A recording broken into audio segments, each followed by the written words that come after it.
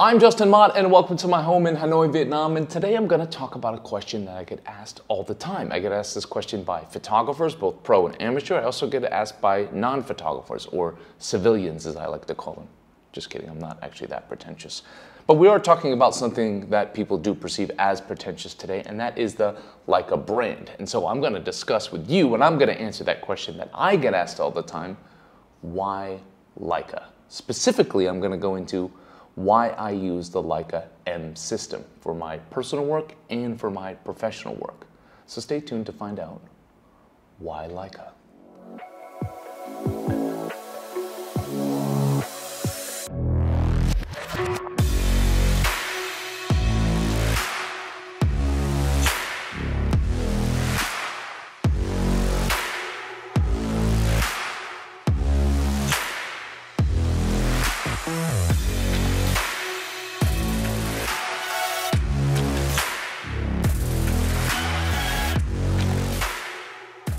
So for those of you that have been watching my channel for a while, you're noticing like, maybe you're noticing like, why is he in a different location? Did he move? I did not move. I'm still here in Hanoi, Vietnam. I'm still in my same apartment. I just moved upstairs into the guest room and this is my new setup for now. I will make some adjustments at some point, but I won't cave.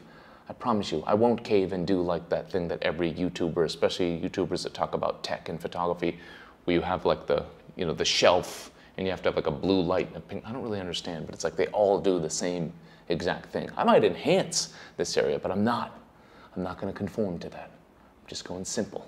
That's sort of the theme today simple and minimalistic. So let's start with how I use this camera system, how it works for me. Again, just because I use it for a certain way doesn't mean it works for you, and just because I don't use it for a certain way doesn't mean that that won't work for you.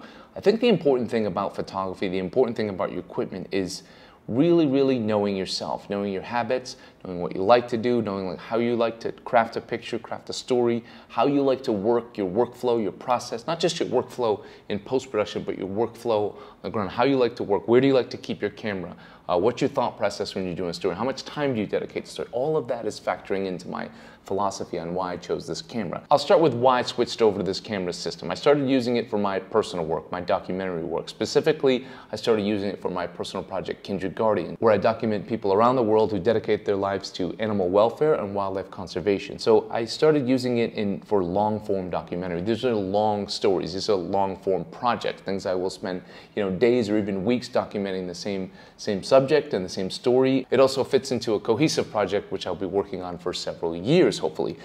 So, so that was the thought process when I switched. I wanted a camera system to get me back into how I used to shoot, which was to slow down a bit, which was to force me to slow down a bit. I know my habits. I know I tend to overshoot. I know I tend to be very reactive, and sometimes I forget to slow down and think. And I thought that this camera system would make me do that because it does lack all the bells and whistles. And I know that might sound crazy to some people. So why pay that much money to have less? But really, for me, when I have less going on inside, I'm more focused on what's happening out there. But I'm more in the moment, like I've said plenty of times, and, I, and I'm just more alert and more focused and more present. I've used it on stories all over the world. I traveled to Kenya with this two times to do a story about the last two northern white rhinos left in the world. I've taken it to Malaysia to do a story of gibbons, to Suriname to do a story about sloths, to Thailand to do a story about street dogs. I use this exclusively for my personal project. And I have loved every single minute of it. And again, I'll get into the why in a little bit, but I just want you to understand how I'm using this camera. Camera system, I've also evolved into using it for my editorial photography. So I took it on my first assignment for the New York Times doing a travel story in uh, central Vietnam, and I loved it. I loved everything about it. It worked fantastically, it worked flawlessly. I was a little bit nervous doing a professional assignment with this because you know you don't have time to, to make any errors. It's all manual focus. There's no screen on the M10D as you can see here. Um, uh, but again, I've also uh, added an M10 as well as a backup camera or when I use a two camera body system, which I very, very rarely use but it's mainly as a, it's a, like the world's, not the world, but it's a very expensive backup camera, but it's an insurance policy. Uh, then I also took this camera system to Myanmar for a story about elephant conservation there for the Smithsonian Magazine. And again, I, these are stories that I would normally take out my whole Canon system with me, a giant bag, a bunch of lenses. And on these stories, I brought two cameras and three lenses, and that's it. And I felt great. I felt light. Uh, I, I, didn't feel like I missed any moments and I just felt more present. I felt like I overall did a better job. So that's how I'm using this camera. I started using it just for pure documentary and pure personal work. It's evolved into using this for assignment work. And once I got comfortable using it for my personal work, I've, it evolved into this being my go-to camera setup for my editorial and assignment work and then just my everyday personal camera. I would take out uh, going on holiday or just taking it out going uh, just to do street photography. So, so that's how I've been using this camera system. So I won't go into all the lenses and all the kit that I have. I'll just quickly go through it. I did a whole separate episode about my exact Leica kit. You can see that in the description box. I'll just go through quickly my setup here. This is really my go-to setup. My Leica M10D here it's an odd camera system to many people. It doesn't make sense to a lot of people, just like the Leica. It's like Leica doesn't make sense to a lot of people, and then this camera within the Leica system doesn't make sense to a lot of people. The Leica M10D is a digital camera without a screen. I know that sounds crazy. It's an $8,000 camera without a screen, and but this is my go-to camera most of the time. And then I've used the 35 millimeter 1.4 Leica Summilux lens. That's my 90 to 95% of my shots come from that. Portraits, documentary, everything I do really with that. I do have my backup Leica M10 here. Every once in a while, if I do need the screen, if I'm using this little bad boy here, this little Leica L Pro macro adapter, which in travel, I use it for you know food shots and detail shots when I want to get close. This little thing here is really cool. It's expensive, but like everything, with Leica, but this screws onto all your different lenses. I can screw it onto my 35 and it instantly becomes a macro. Screw it onto my 75, it becomes a macro. Has these little step-up rings so it can adapt to all these different lenses. I also use it for my animal stuff as well when I want to get details, a close shot of the eyes or the hands or, you know, paws or whatever I'm photographing. Uh, it just comes in handy every once in a while. For the travel stuff, just to have a super wide lens, I've got the Leica Super Elmar 21 3.4 lens here. It's a beautiful lens. I just don't shoot wide that often, but it's just nice to have for those scene setters for my personal project every once in a while. But often for travel stories, this comes in handy for those like really, I consider it ultra wide. A lot, of, a lot of people consider it 16, but like that's as wide as I like to go, 21. And and then it, I feel like it gets too distorted, but that's just a personal preference. I've also got a 135 here. This very rarely comes out of my bag. It's in there as a, another insurance policy every once in a while. Like I had a, a moment in, in Suriname where I was documenting a lady who does sloth rehabilitation and there was a sloth way farther away with its baby and you know, I couldn't get that close without scaring it. I couldn't get that close because I can't climb like a sloth, so this did come in handy. I, but again, I'm not doing pure wildlife photography. I do wildlife photojournalism, so typically my stories allow me to get close to my subject. So very rarely do I need that lens. So that's the system. Now you understand what I'm using here and, and how I use it. Now you're gonna just ask yourself why. First of all, let's address price right away. That's the thing that scares most people away. And I get it. It is expensive, and it is expensive for a lot of people. I get paid to do my photography work, so it makes a little bit more sense to me. But there's also a reason you don't see a lot of professional photographers or professional editorial photographers or even personal project photographers using this. It is a big investment, but it's not as crazy as you might think. Hear me out. This camera here, the Leica M10D, the features on this camera, it turns on, it turns off, you can adjust the ISO. The aperture is not in the camera. The aperture you change manually on the lens. The shutter you change obviously on the camera. And you can link it up to the wireless app here and send images wirelessly to your phone. Doesn't have a screen. Those are the features. This Leica here, M10, backup camera, has a screen, no bells and whistles, no major features. Okay, so you're still saying, yeah, what is that, how does that explain price? Okay, $8,000 camera, $4,000 camera, several thousand dollars in lenses here. Now, ask yourself this. Your Canon, a ton of features, I totally get it. Your Nikon, your Sony, a ton of features in there, totally get it as well.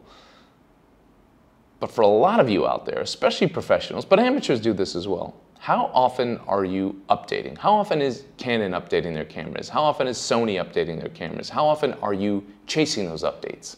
Right? So a new camera maybe comes out every two years or every four years. How often are you upgrading? And why are you upgrading? You're upgrading because, oh, well, it did have 24 megapixels and now it has 30, or it had 30 and now it has 50, and, and it has 4K and now the new one has 6K or 8K. This, there's nothing update. I'm buying this camera, it has 24 megapixels. Is that enough? Yeah, it's enough. It's crazy that people don't think it's enough. I've sold prints to this through a fine art gallery, giant prints. People that look at this stuff professionally love the quality. Clients who bought these prints and spent a lot of money on limited edition prints love the quality. Editors who know what to look for in a photo, that zoom in and look for it, that publish it in magazines that go around the world in print, no problems with this camera. So I always look at it like, if it's good enough for them, it's good enough for me. Now I get it, every once in a while you might need 50 megapixels for a billboard campaign, but that's such a small amount of people that need that. So what's there to upgrade? I don't need any more features. This can take photos exactly how I need them. The output is exactly what I need. So when you think about that, it might not seem as crazy. So if you're buying a $3,000 Nikon or a $3,000 Sony and then upgrading it every few years, that starts to add up. You're changing, you know, maybe not upgrading lenses, but you're changing the camera body. So that's one reason. That's why it's maybe not as crazy price-wise as you think. I don't need to upgrade this camera for another five years, for another 10 years, maybe another 20 years if I make it that long. Uh, it has everything I need to do what I need to do, and that's all that matters. And that leads me to my next point is the minimalism, the simplicity, and how that plays into my philosophy as a photographer and my philosophy on why I dig this camera system and why it has worked for me. If you ever get a chance to go into a store, a Leica store or another store that sells Leicas, go and pick one up and hold it in your hand and hold it up to your eye. Hold it with both hands, hold it with one hand, wear it on your shoulder everything's just right about this camera. Like, I know that sounds crazy, but let's start with materials. The way the metal feels in your hand, it feels solid. The mechanical part, the fluidity of the lenses, you know, with the manual focus lens, it's so fluid the way you do it. You're feeling connected to the camera. You're feeling part of it. The notches in the aperture. Uh, the where the shutter button's placed, the weight of the camera, the metal, everything about it, the rubber here on the back, everything just feels right. And is that worth $8,000? Probably no for a lot of people. But if I'm using this camera for days upon days and weeks upon weeks and months upon months and years upon years, that starts to add up and that stuff does matter. So this camera makes me want to have it with me. It makes me want to have it in my hand, which makes me carry it more often, which also makes me more likely to want it on me throughout the course of the day. It's not weighing me down physically in my hands and it's not weighing me down mentally with all the different options. So the aesthetic plays a lot. It plays a lot in, in, in my day to day when I'm out there shooting, when I'm getting up at 4.30, out the door at 5, documenting intense stories, keeping my mind razor sharp while I'm trying to capture this, these different stories, these different moments, anticipate moments, try to figure out what's going on, try to figure out what I'm missing in my story, where I need to be to get the moments to make my story come true, make, making sure my story is accurate. There's so many variables to weigh in when you're doing something that intense and telling a deep story and working on something you're very passionate about and it's very personal to you, that that mentally can be, you know, that mentally can weigh on you. So I'm always looking to simplify the experience. So physically, like I want this camera around my neck. I want it on my shoulder. I want it in my hand. I want it up to my eye. That's all very important. All that adds up when you're using this camera as much as I'm using it and as much as maybe you're using it, and maybe it doesn't matter to you, but I'm just sort of explaining where I'm coming from. So that is, is sort of clearing me physically, right? It's, it's, it's not weighing me down physically because it's something I, I want to have on me because I like the way it feels in my hand. I like the materials. I like the way it feels everywhere when I'm attaching it in my bag, like I said, on my neck, on my shoulder, up to my eye, or just in one hand wandering around, or even just sitting there in front of me. So that's important. The next thing that's important is the minimalism, weighing me down mentally. Now, I know this doesn't matter to everyone, but if you open up a Sony menu system, it's like insane for me. It's insane for me to process. A lot of you, it's easy and you like that, and I totally get that, and I'm not knocking it. But for me, it, it's like, it really mentally weighs me down. I've been lost in their menu system or changed things by accident or changed features by accident. I didn't know they were going off, and, I, and I'm a professional photographer, so like, it, it's a lot, and it's a lot of stuff that I don't care about. It's a lot of stuff I don't need. Again, minimalistic like that is making me clear that's making me more focused. So having a menu system that, that is so complicated all of that effort all of that energy is going into that instead of what it should be going into which is all the other things i talked about capturing the moment telling the story anticipating the shot understanding my subject making sure i'm accurate um, making sure i'm getting what i'm missing and i'm exactly where i need to be when the moment happens all of that you want to be razor, razor sharp. So everything that can take away, everything that takes away from that, I'm trying to block out from my mind. Anything that contributes to my focus, I'm paying attention to. And this does that. This camera to me is simple, and I love that. And I know it's a lot. It's a lot. It's crazy a lot to pay for simplicity, but I turn this camera on, I put my aperture in, I put my ISO in, I dial in my shutter, and I shoot. And that's all I have to do. That's it. That's the only thing I worry. I, I very rarely even change lenses. I'm just there. I'm present. Again, nothing, none of my energy is going in here.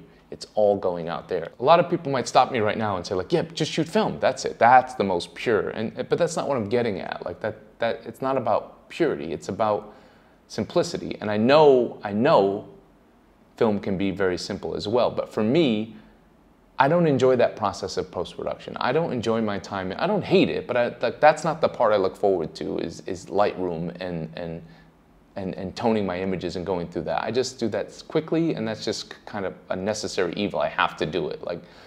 So the film process to me isn't that exciting. The not having a screen part is just exciting for me because I, I, I like to look at it later. I like that surprise. But the post-production part isn't fun for me. I like to sequence my images and look at the images and figure out how I'm going to tell the story with those images and the order they're going to be in, and then look at the images closely and see what I'm missing from my story and see what I've got and understand and stuff like that. But for me, the film part is I don't enjoy the post production, so that's why I don't shoot film. So that's why this camera, that's the compromise there for those of you that are saying, like, just shoot film. Because I know some of you out there will be film people who who will ask that question. So that's why I wanted to address that. So really, it's not a laundry list of things. It's not the things you would think of. Those are the two things really that matter to me. That's my philosophy, and that's why the Leica system works for me because it makes me more present. It makes me in the moment, and really, it's it's kind of as simple as that. I, I know some of you might have been expecting all these different things about lens sharpness, and I do like the look of the Leica lenses, and I get that, but that's not the most important thing. That's not even a huge factor for me. It's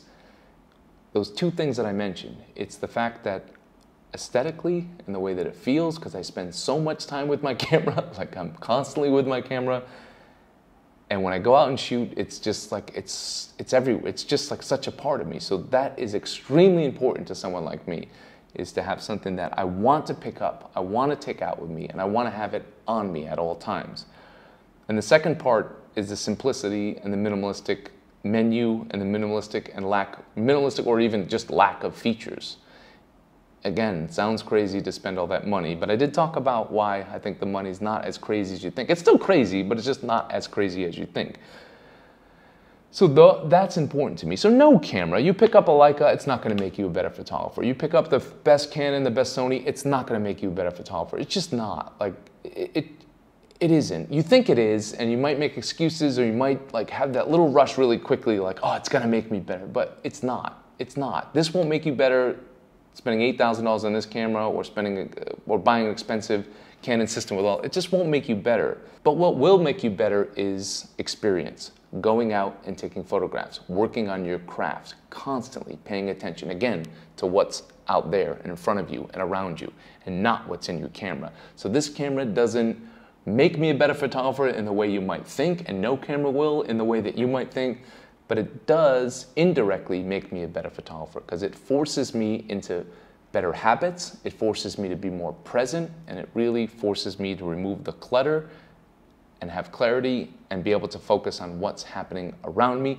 And that forces me or puts me in better habits to become a better photographer and to evolve as a photographer. So that's that's the why. That's the why Leica. That's the why Leica M system. So I hope that makes sense to some of you out there. And how I use it might not be how you use it. And don't always think about how cameras need to be used based on how they're marketed or based on how the masses use them.